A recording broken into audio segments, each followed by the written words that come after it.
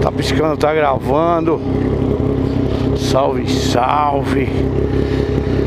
Mais uma sessão de fisioterapia.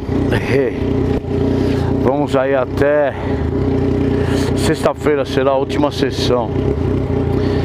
É... Obrigado, obrigado aí pela audiência, por escreverem, por darem seus palpites, seus comentários. Obrigado de coração. Estaremos sempre juntos.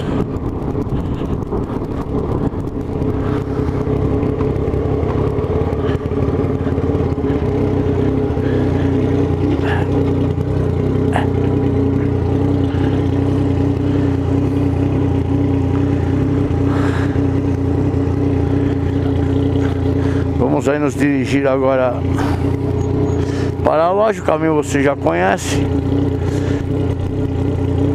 Espero que não estejam enjoando do caminho.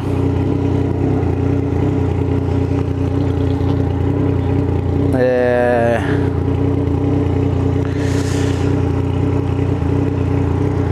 E é isso aí, graças a Deus tudo certo. Temos alguns BOzinhos lá na oficina, mas BO corriqueiro. Nada alarmante que não dê para resolver.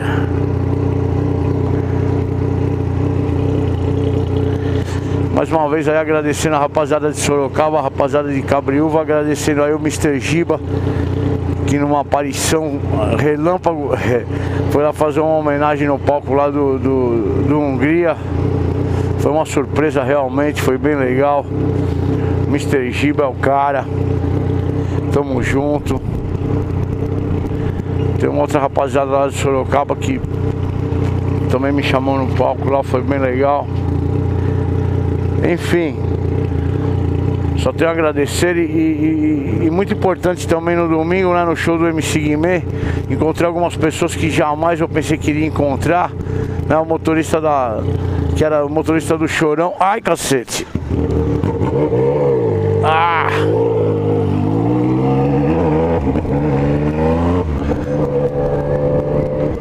é motorista hoje do MC Guimê, o produtor, o Marquinho, trabalhava com a Samanta, que era empresária do Chorão, também tava lá, o Gordão Segurança, enfim. Foi gratificante encontrar essas pessoas e gratificante conhecer o MC Guimê também. Paguei uma de fã lá também, por que não? É. Peguei fila pra tirar fotinho, pra ter o autógrafo.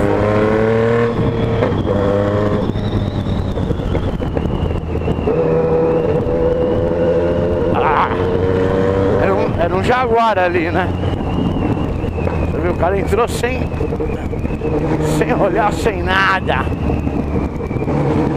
Então vamos aqui mais uma vez na Avenida dos Bandeirantes, Avenida Esburacadations total.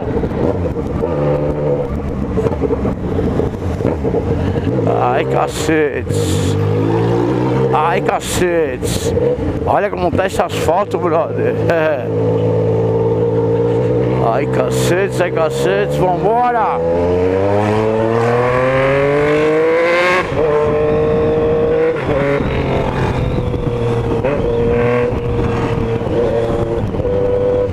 Pizza crack. Como é que será que é a pizza crack? Mordeu, faz crack, crack.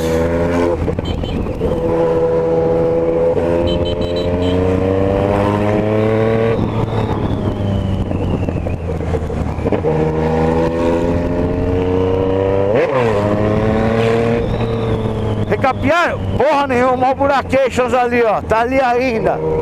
É. Eu gastei 350 na minha roda sem a pintura, né?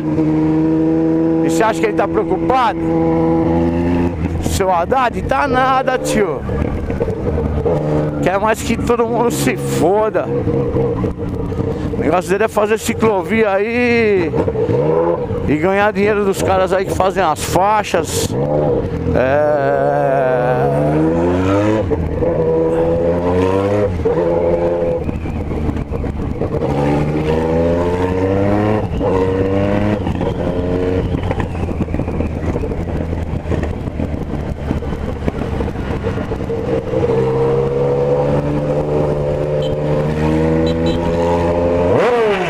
esquerda aí, tio. A direita. Vamos manter o corredor aí. Obrigado aí toda a rapaziada de Cabriúva, chegaram os caras lá. É, isso que é muito legal, velho. Fala, porra, mano, eu não tenho moto, mas eu tenho carro. E aprendi muita coisa com você, né, na questão do motociclista. Coisa que realmente eu nunca pensei, nunca dei né, valor para essa, pra essas coisas, você dar uma seta, é, sinalizando pro cara qual a manobra que você vai fazer.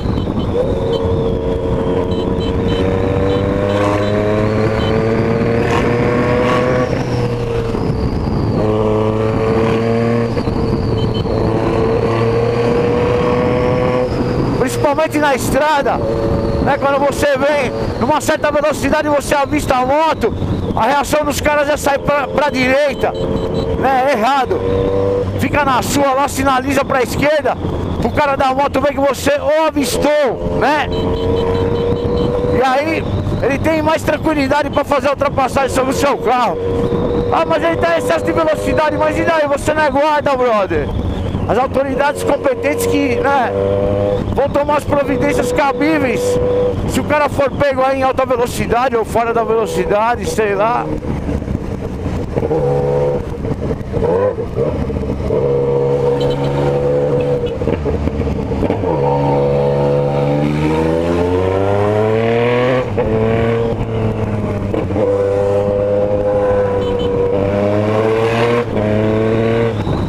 É, então cabe a essas pessoas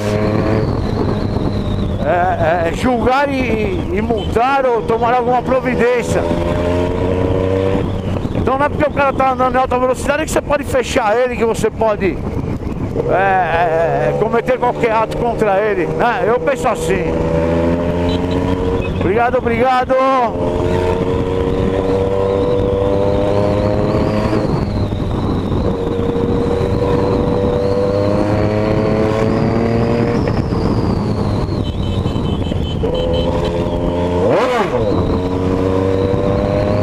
Primeiro ele, ele tá mudando de faixa sem dar seta.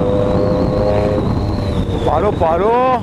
Aqui é um perigo porque existe a curva, né? Como eu sempre falo pra vocês, corredor em curva é o mais perigoso de todos. Porque o cara no carro ele bate o olho no retrovisor, ele não tá vendo a moto, mas a moto vem vindo uma velocidade muito superior a ele. E aí ele pum, muda de faixa, a moto tá em cima. Às vezes realmente não dá pra brecar e aí acontece o um acidente.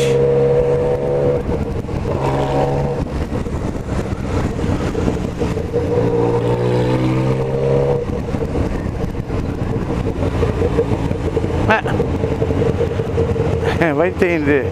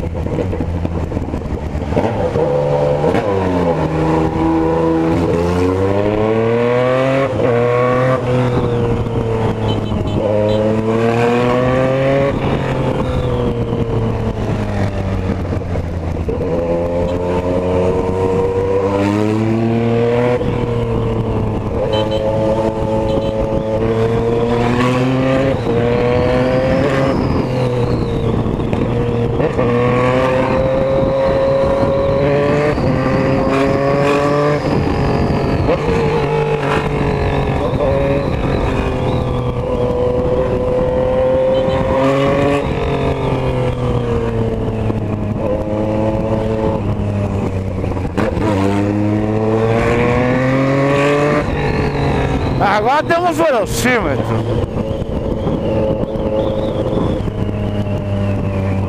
E aqui é 60 por hora. Aê!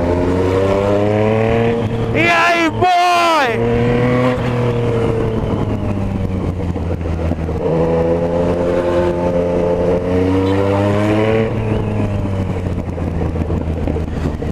O asfalto tá fantasiado de playboy. É, Hungria. Salve, salve, moleque, gente boa. Batalhador, trabalha pra caralho também. É porque os caras pensam que não, a vida do cara é só gozar, é porra nenhuma, tio. Altas canseiras que nem no show aí de Sorocaba. Ele acabou o show, foi direto, pegou o carro e veio pra Guarulhos. Pegar o primeiro voo da manhã, que se eu não me engano era 6 horas, pra ir pra Santa Catarina, que ele fez um show lá. E aí, né, pô, isso aí é cansativo pra cacete, velho. Aeroporto, aeroporto, é foda, brother. Então, né, todo o seu trabalho tem o glamour, mas também é, tem o desgaste, tem o esforço.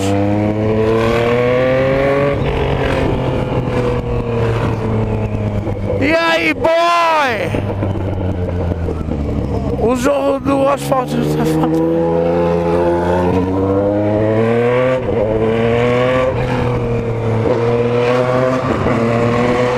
Aniversariantes do dia, vamos dar lá no outro túnel.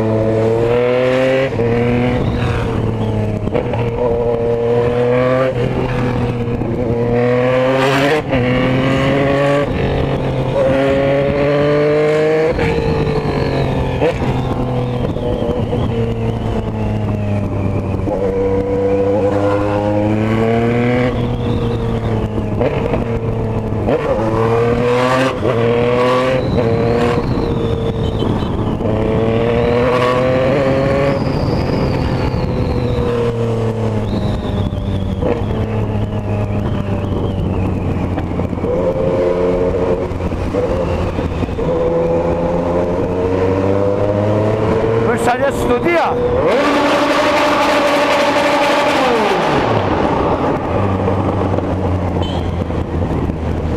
Parabéns a todos vocês aí. Tenham um excelente dia. Ah!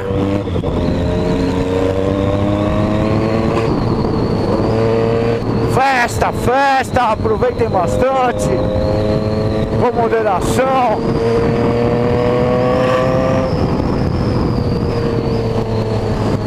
E a vocês aí que ficaram de recuperação, boa sorte. Espero que não repitam de ano, porque é, é triste, né, meu? Pra vocês e pra família, no primeiro momento pode nem parecer tanto. Mas depois vocês vão chorar, beleza? Beleza? Então é isso aí, obrigado, obrigado. Até o próximo vídeo.